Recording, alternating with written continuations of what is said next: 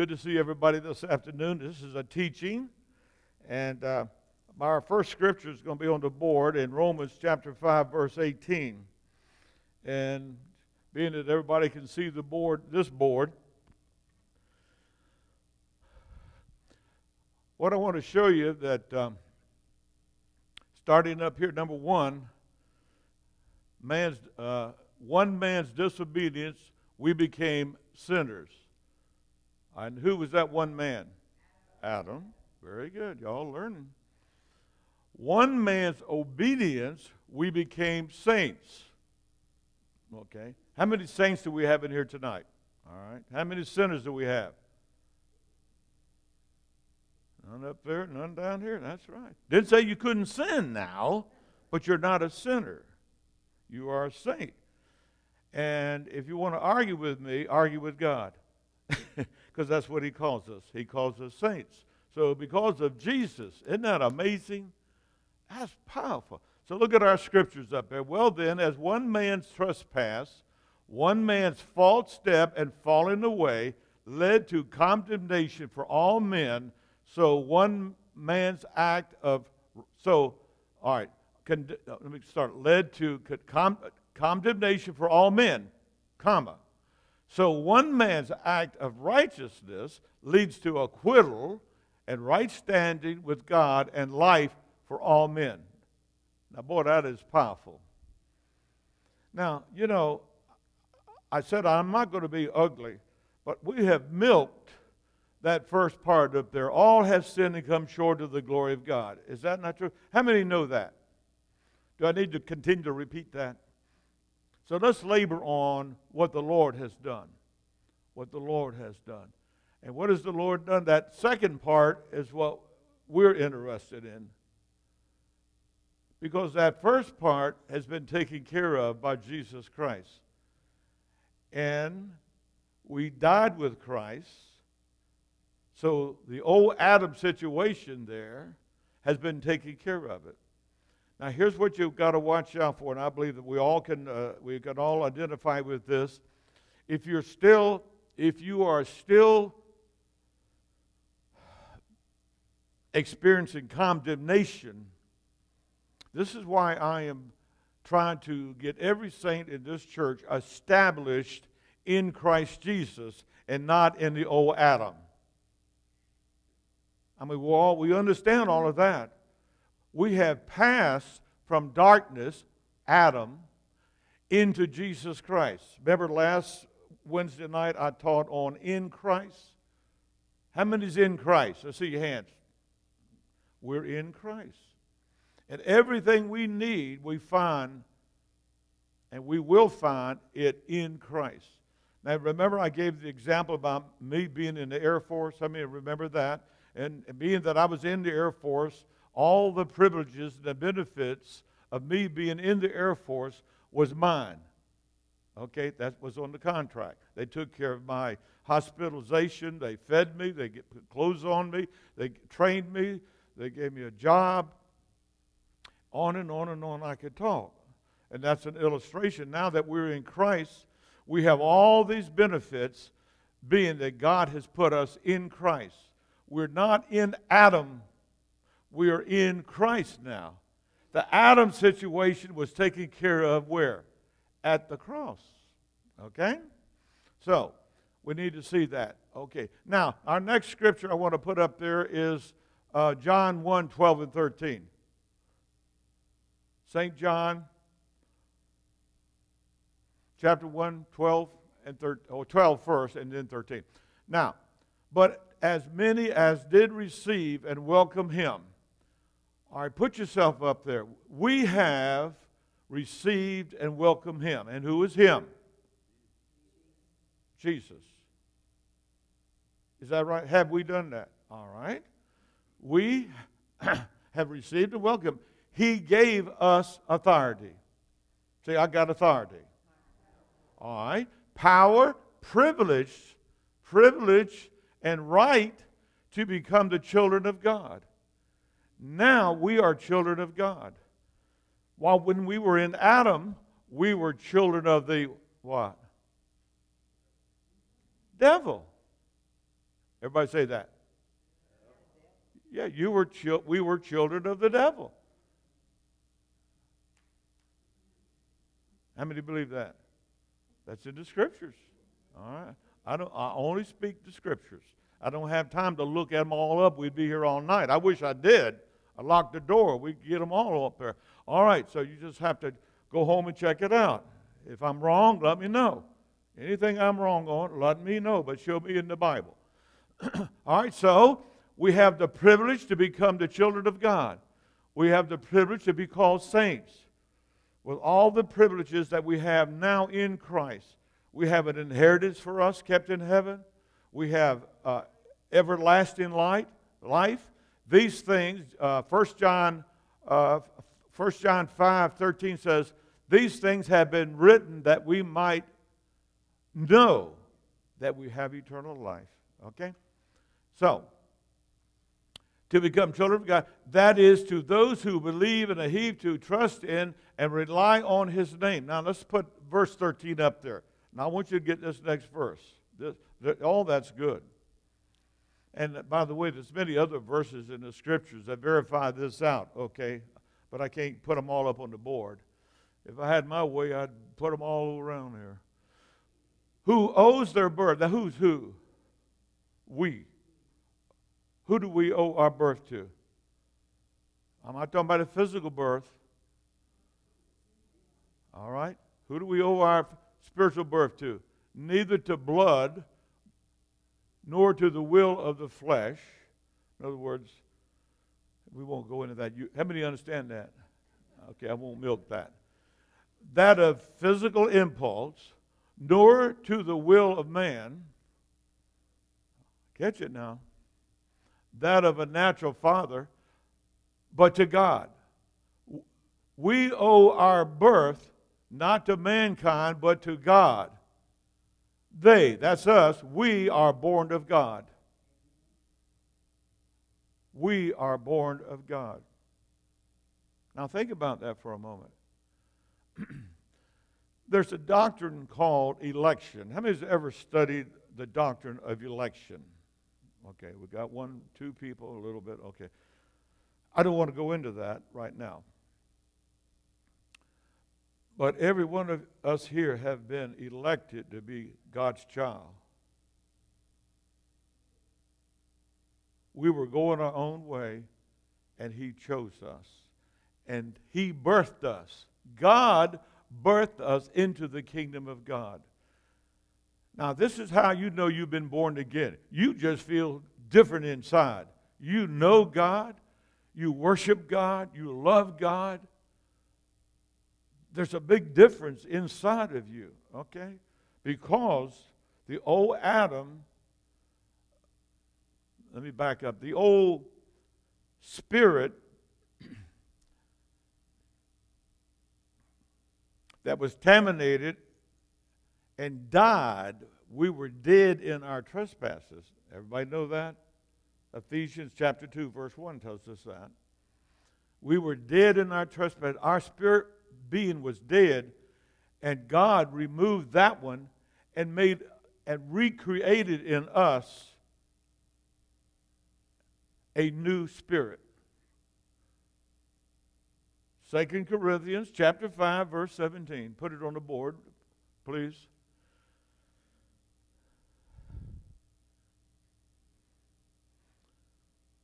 Second Corinthians that's no that's uh,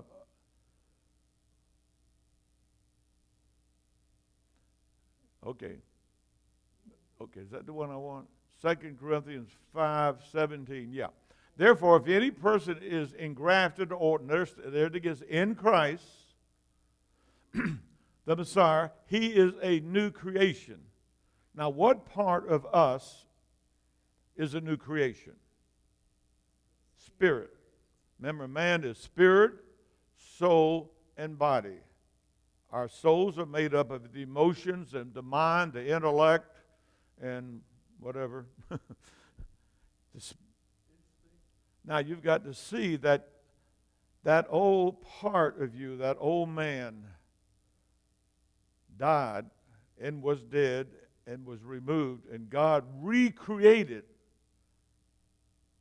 Wow. New creation. Your spirit is a new creation. But you have the same body. It's like a car. Take the old motor out, put the new motor in. Ah, brand new motor. That's what we got in us a brand new spirit. A new creature altogether. Everybody say, a new creature altogether. Spiritual condition, the old spiritual condition, okay, uh, the old previous moral and spiritual condition of our spirit man has passed away.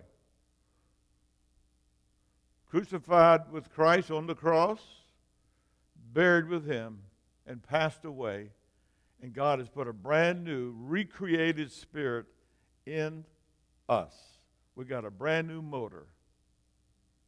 Okay, you got to see that now. Behold, the fresh and new has come. Okay? Now, here's basically most of our problems come from the soul, our souls. Remember, David said, Oh, soul, why are thy cast down? So you get up in the morning and say, Oh, man, what happened last night? Man, that's rough. Your spirit's doing fine. You have your salvation. Your name is written in the Lamb's book of life. You're in Christ.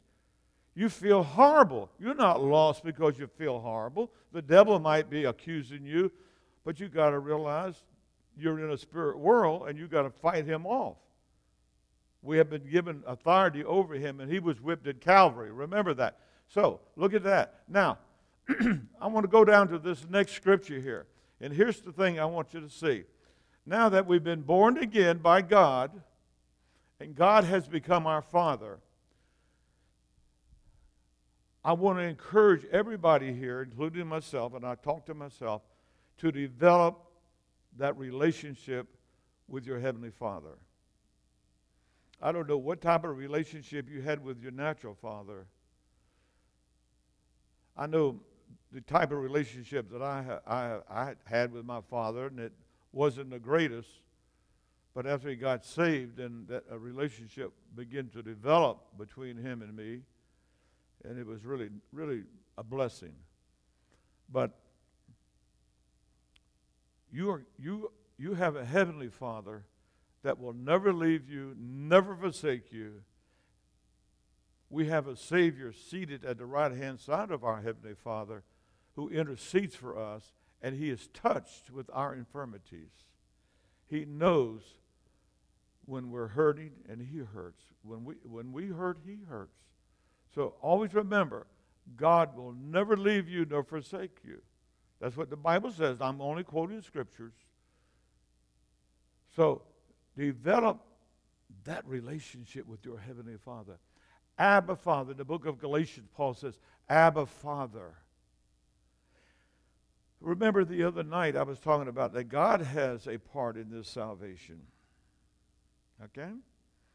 We look at it from our viewpoint. Hallelujah, I'm saved. And that's, boy, that's good. That's wonderful.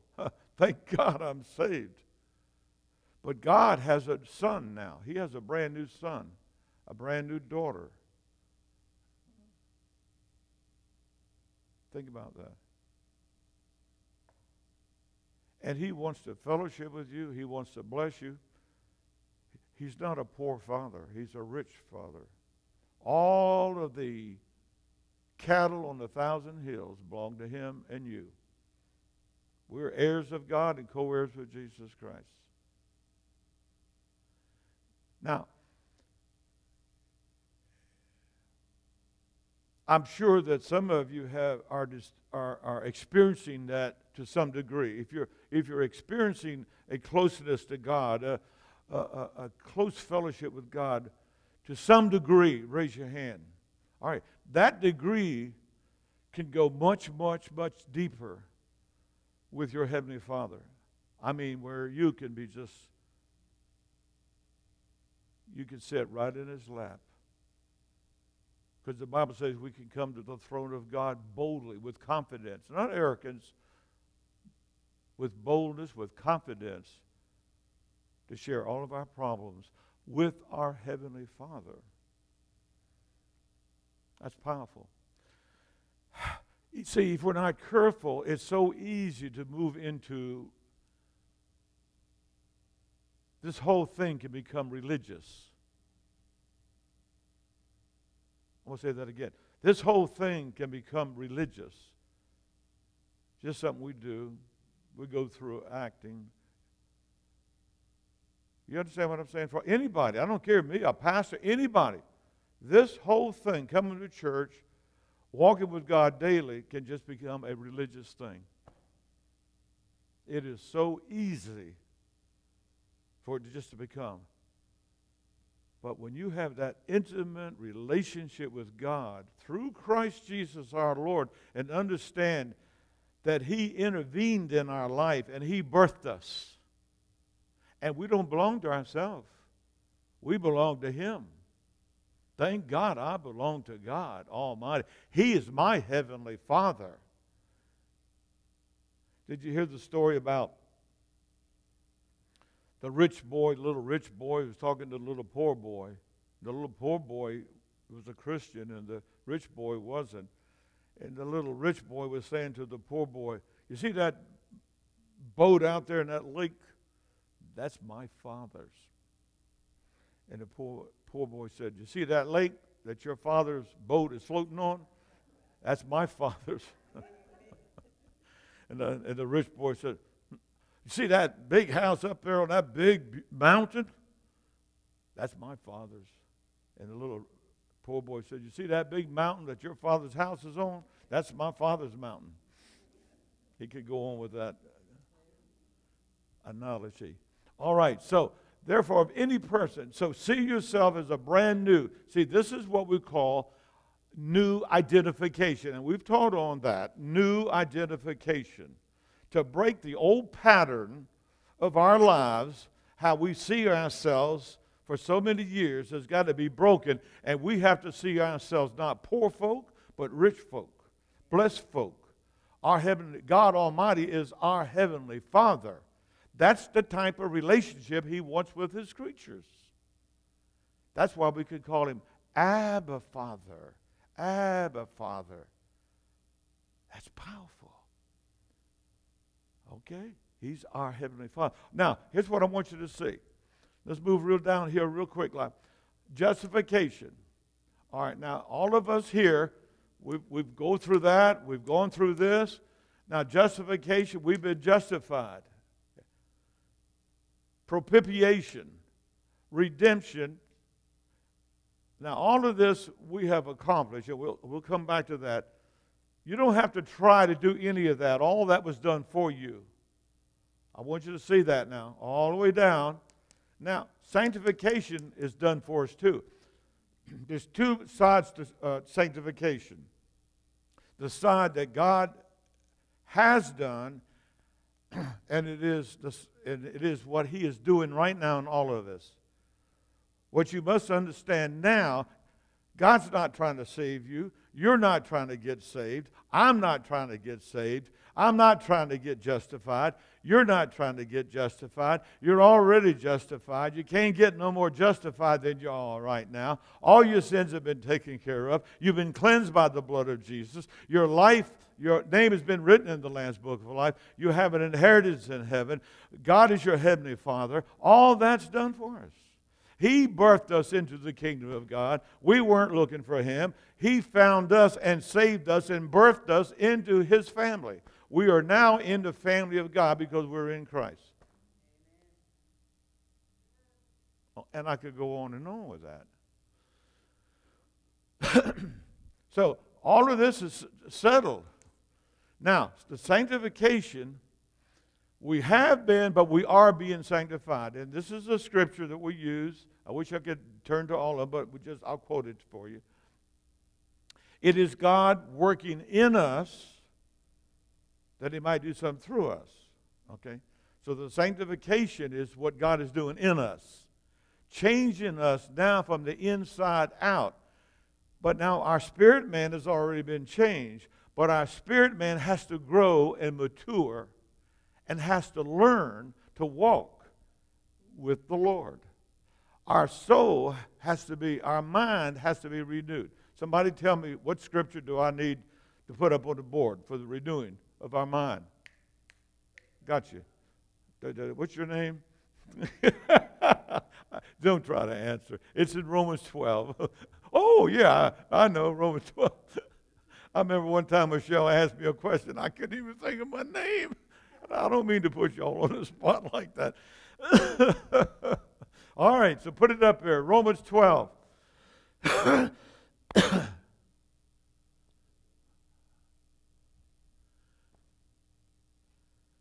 Romans 12. Well, that's a good one. Repay no one evil for evil, but take thought for what is honest and proper and noble, aiming to be uh, above reproach in sight of everyone. Now, that goes into uh, us learning to walk a sanctified life, okay? But we're not talking about our works. We're not talking about none of that. We're talking about who we are now, what God has done for us. You got to get that settled first. That's what we're that's what I want to get everybody established in. Excuse me. so, Romans 12, verse 1. Willie? Sorry about my throat.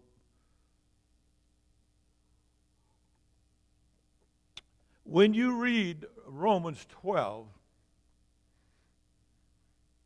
I encourage you to read 10, 11, 9, 10, and 11 and then and you'll understand why Paul is saying to the Gentiles, I appeal to you, therefore, brethren, and, and beg of you, in view of all the mercies of God, all the mercies of God here, to make a decisive dedication of your bodies, presenting all your members and facilities as a living sacrifice holy, devoted, consecrated, and well pleasing to God, which is your reasonable, rational, intelligent service and spiritual worship. Now, I want to ask you a question. Have you done that?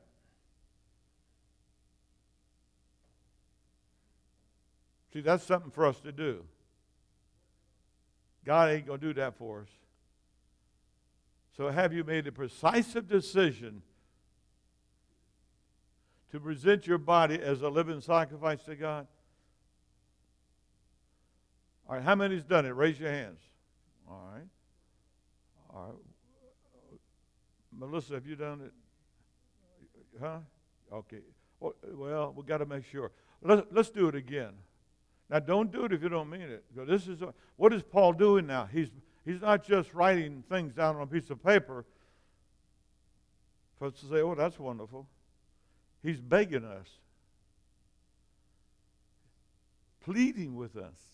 The Apostle Paul, who's under the inspiration of the Holy Spirit, pinning this down for God's people to see this is something we have to do.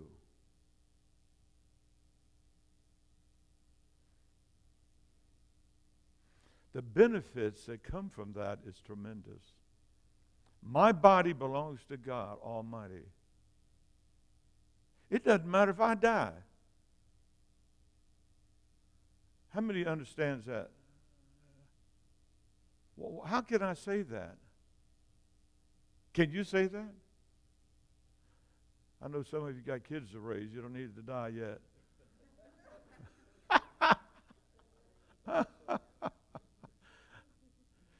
but did you know that's how you overcome many things? by surrendering. Just give it up.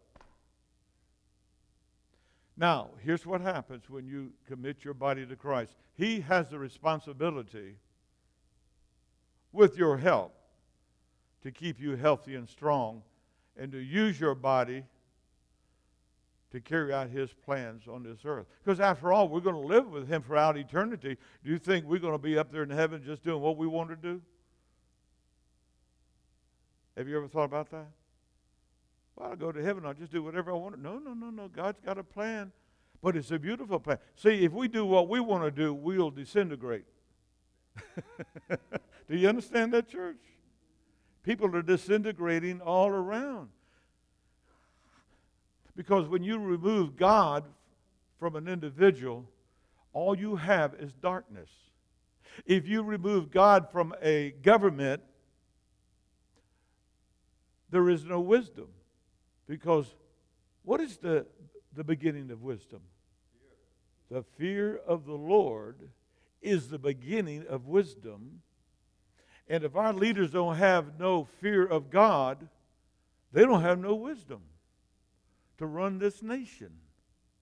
If we have no fear of God, now there's a, different types of fear. We know that. We're talking about the reverence fear of God, which is a very healthy fear. Because I found my face on the floor like that at times. Boom! As I've walked with God over the years, Lord, I have nothing to say. Thou art God. Thy could do with me as thou see fit, Lord. For thou art God, and your judgments are true. You know God that well. Nothing else bothers you. Am I coming through? You don't try to save yourself anymore. Self is the problem, see, with so, why people have so many problems. So when you give your body and and and and uh,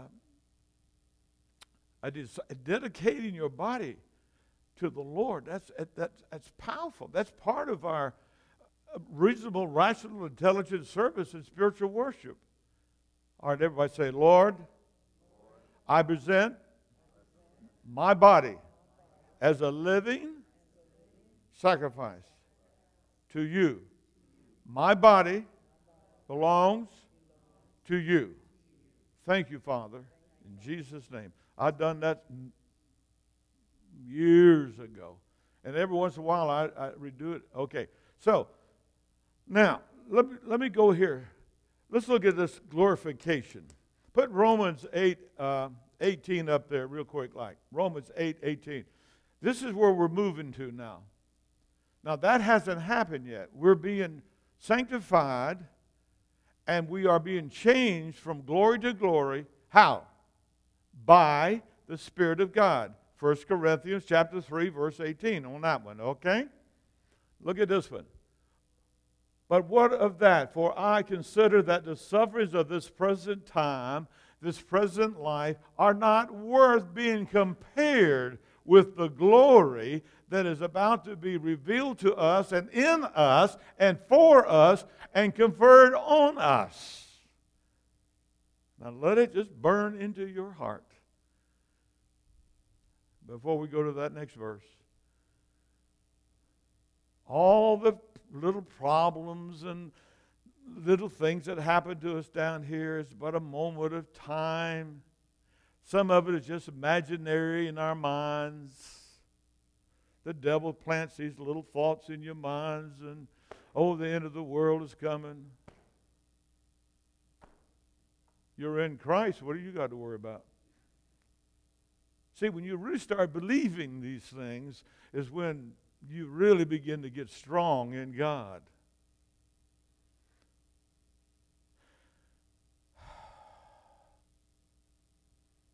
Over the years,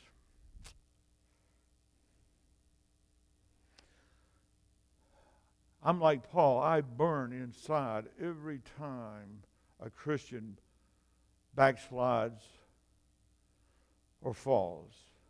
That's what Paul said. I, he burnt inside. He just, it just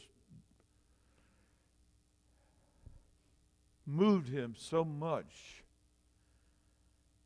And over the years, I remember this particular time, and I remember many other people too, but I want to bring this one account. This young boy, he's about 16 years old, going to high school, and this young girl, and they were dating. And she just didn't care about him anymore and took up with another boy. And the boy that she had dated for so long, and they were going together for maybe about a year and a half or something, he couldn't take that, and he blew his brains out. Hmm. that bothers me. I'm going to say something, folks. I love every one of God's people.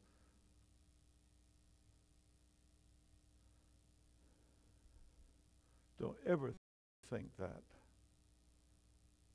Don't ever think suicide. Don't ever. We will have disappointments down here, but the Bible makes it very clear. That's why it's so important to study the Bible. No word is in your Bible. Mark it. Let put a neon sign there. Let it boom, boom, boom. Know your Bible. Know it. Because these things will come right to your mind if something happens. Because you're going to lose things in this old world. I've lost my father, my mother, just lost my dog. Well, none of us like to lose anything, but it's only a speck of time. It's only a little, it's only a little thing. But to blow your brains out, what about your mother? What about your father? What about your granddad, your grandma, and the people that love you?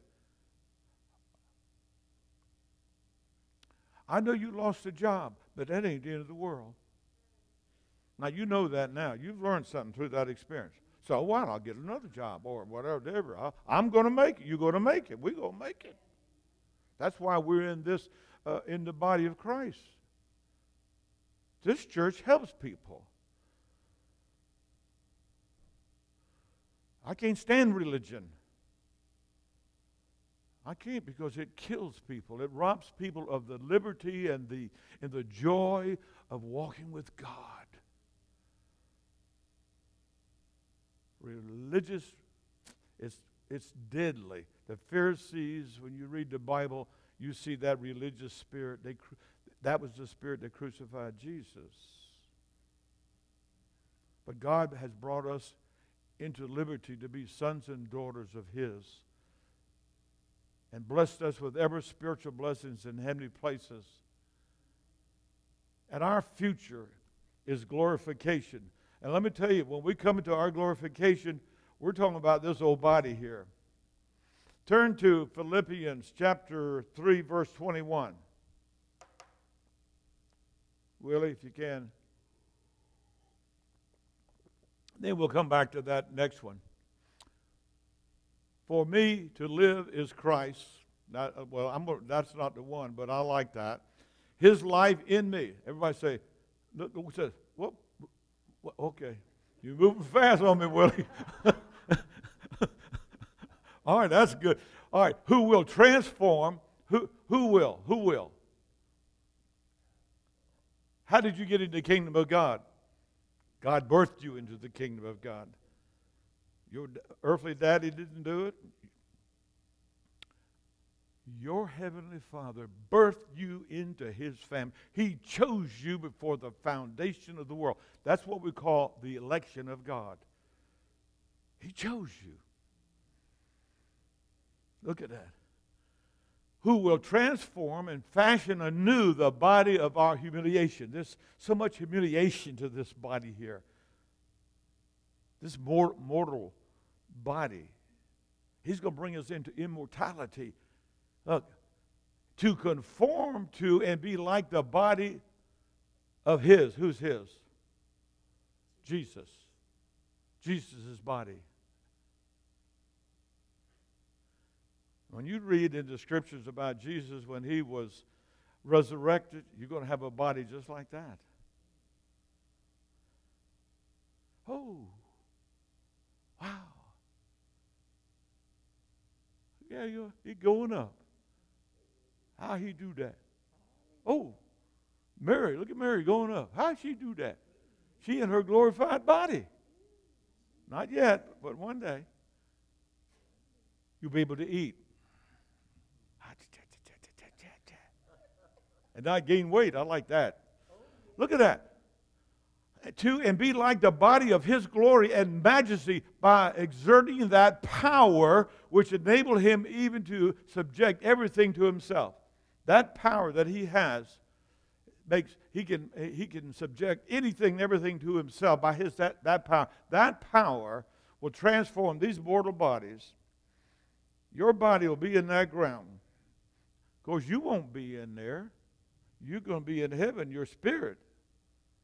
And then that body, by his mighty power that raised Christ from the dead, will quicken that body and you will come out of that grave. Now, there's a question Are we going to make a hole through the ground? I hate to mess up the lawn, don't you? But when you think about Jesus, he appeared and disappeared. Remember, the disciples were in the room, the door was locked, and all of a sudden Jesus appeared. Outside, he was knocking on the window, trying to get in. no. He appeared, there he is inside. How did he get in? That resurrected body could go right through the wall, eating a submarine, drinking a spot of tea. That's God. This thing is great. This thing is great. All right, look at it again. Who will, who will, God will transform and fashion anew the body of these old bodies out here and conform to be like the body of Jesus Christ.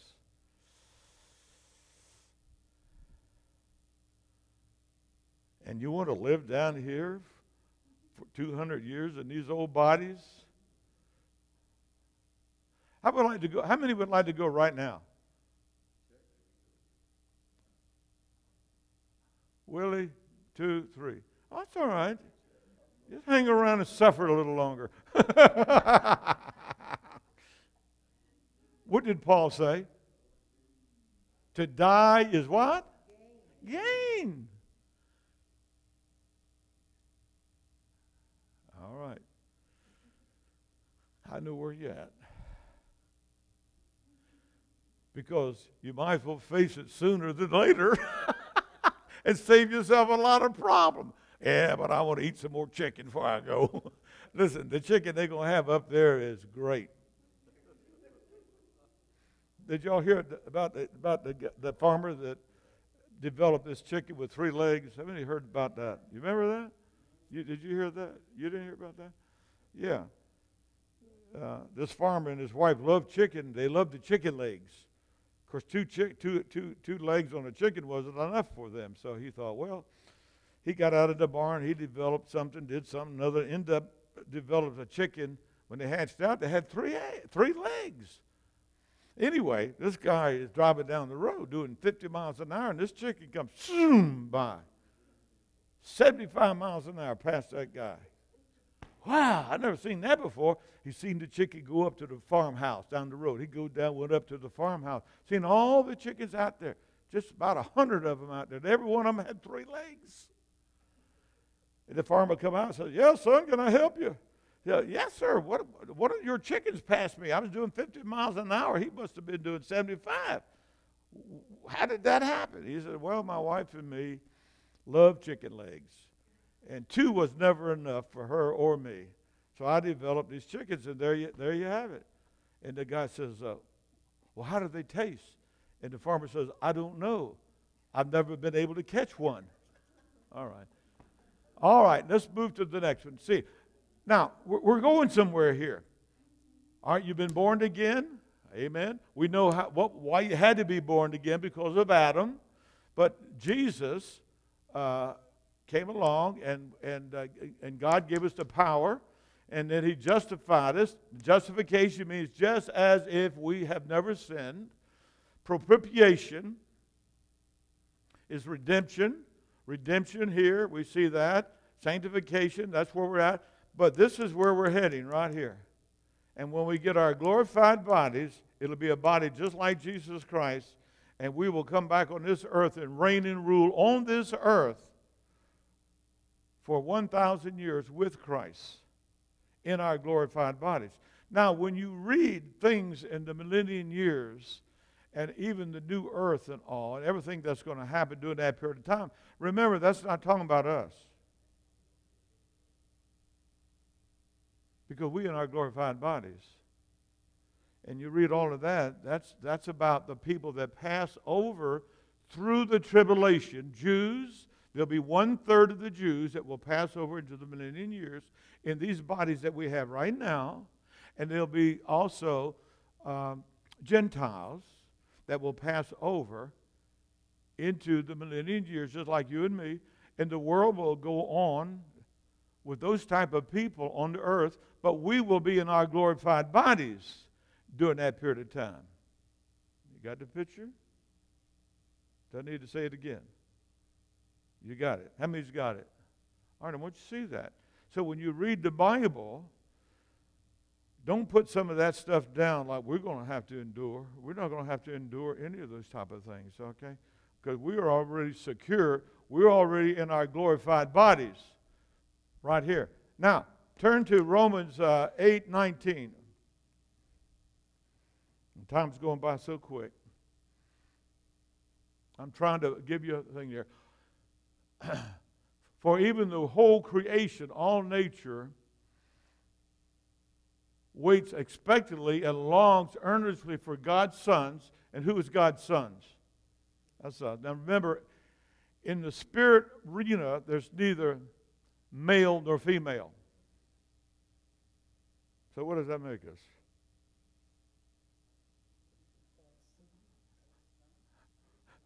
Let me know when you get the answer to that. How about nooners?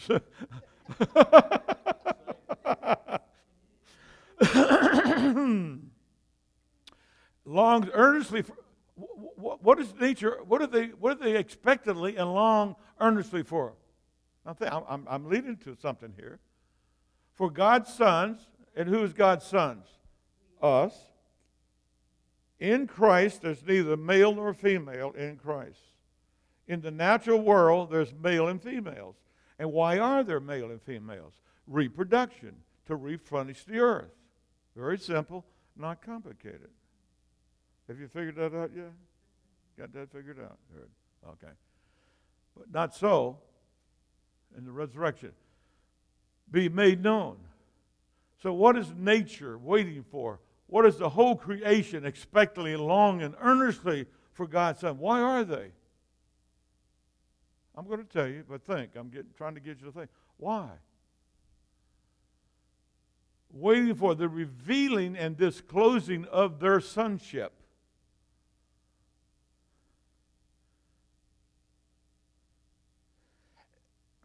and as sons, we will reign and rule with our big brother.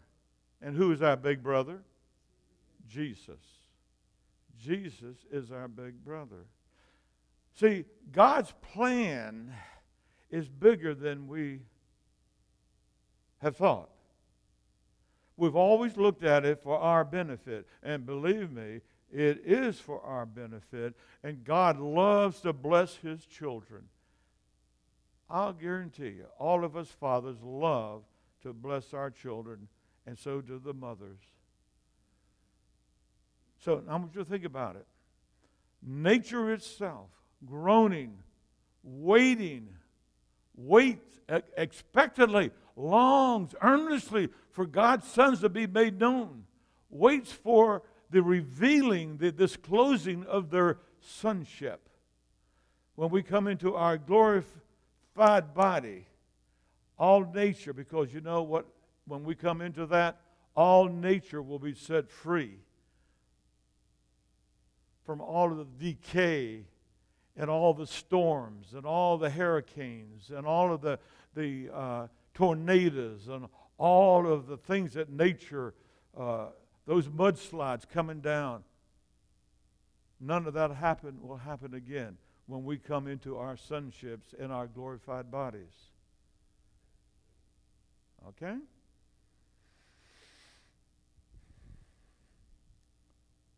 Go to verse 30 in that chapter in uh, Romans 8:30. We may have to back up. We may close with this. I've only begun, but anyway, I've done my best. Romans 8. uh, man, this is powerful. Well, let's read that while he's got that on the board. And those whom he thus foreordained. Who's that?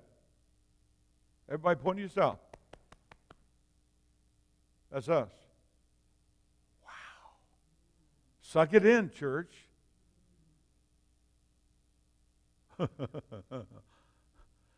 For, and those at the shield of faith, whom he thus foreordained, he also called. Who called you? God Almighty called you. Before the foundation of the world. Ephesians chapter 1. So he called you, and he also what? Justified you. On the board here, he also justified you. That means just as if you have never sinned. Mary, you have never sinned.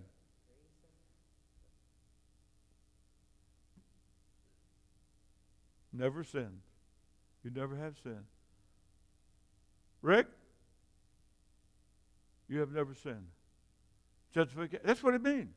That's what God says. You have never sinned. You've been fully justified. And one day you're going to be glorified. He looks pretty good now, doesn't he, Missy? But you wait till he gets his glorified body. How many think Rachel's pretty? Yeah, we all think she's pretty. Ain't, you ain't seen nothing yet. How many of you think I look pretty? all right. Whom he thus foreordained before the foundation of the world, he chose every one of us. He chose us. We didn't choose him. He chose us. So what are they to boast about? 1 Corinthians chapter 1, verse 29, 30, 31. You know what that means? You, you know what that means. Yeah, we'll, we'll have to get there if we have time. Let's see. Oh, five minutes, got to quit. All right. so he foreordained us, he also called us, and those whom he called, he also justified, acquitted, made righteous, put them into right standing with himself. He did it, he did it, he did it, he did it, he did it, he did it, he did it. Quit trying to do it. He did it already. It's done, it's finished, it's complete. All charges dropped, been born again, new spirit. All creation is groaning for the manifestations of the Son of God because we'll be in our sonship, in our rule. We'll be ruling and reigning with Christ. Wow.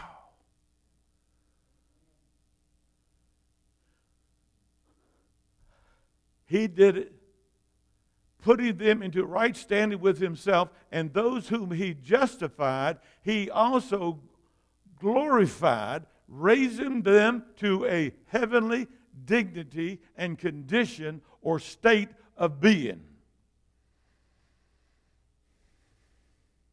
Why, they might even think we're aliens.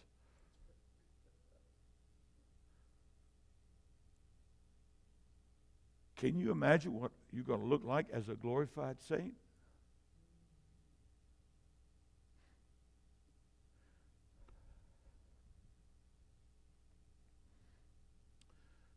They say Adam and Eve, and I don't know, but when we see the devastation of what sin has done to all of us, what you're looking at here is what sin has done. But if you could have seen me before Adam sinned, you'd be going, Well, I got news for you. The cycle going all the way around. And you read Revelation 21 and 22, man is now walking with God, seeing him face to face. See, this thing is bigger than just going to church and hallelujahs and, you know, praise God, I can hallelujah with the best of you. And this thing is large, big. Even nature is getting in there. Can't wait. Great expectation. I can't wait to see Mike in his glorified body. Woo! Glory! You won't need your glasses.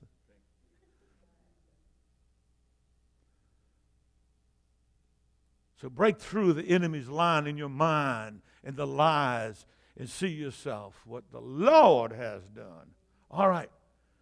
Go to uh, 1 Corinthians uh, chapter 1, verse 29, 30, and 31. Start with 29, and we'll quit there. Here we go. Are you there? We get, uh, will you have that on the board? Whoo, glory. All right.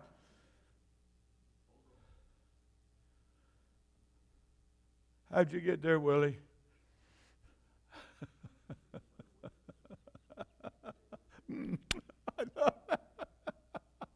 So that no mortal man should have pretense for glorying and boast in the presence of God for what God has done. We have nothing to boast about, nothing. Verse 30. But it is from Him. Who's Him? God. For, but, uh, but it is from God that you have your life in Christ Jesus. You're here tonight because of God. You have your life because of God. And we have been created to bring pleasure to Him.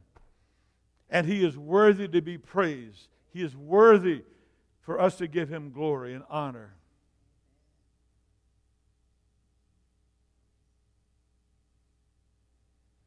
He chose every one of us to be His children. He did it. He did it. To think that God chose me. He chose each and every one of us. What a powerful thought. The God of all creation. Look what it says there.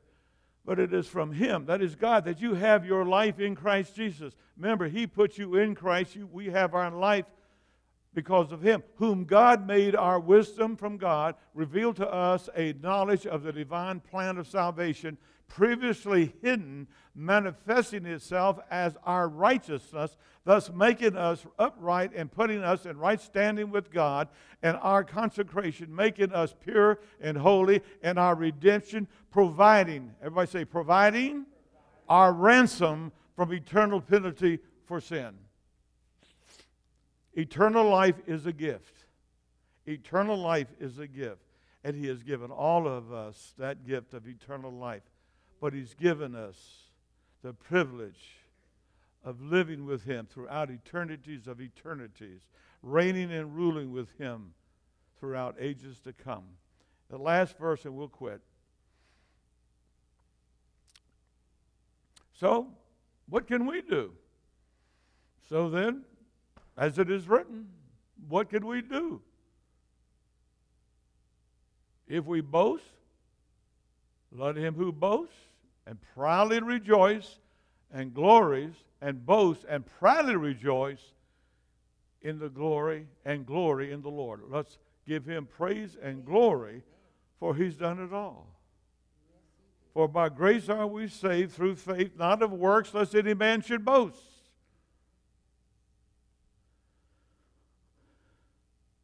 So get our minds renewed.